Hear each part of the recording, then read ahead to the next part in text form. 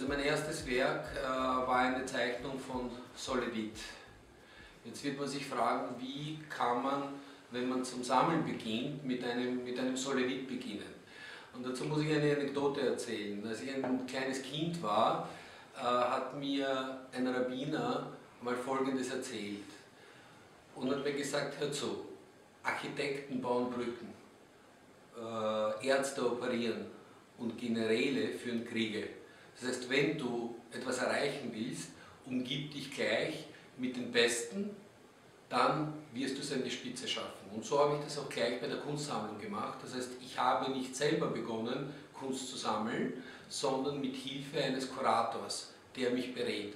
Und ich glaube, das ist auch einer der Gründe, warum ich in so kurzer Zeit eine so großartige Sammlung aufbauen konnte.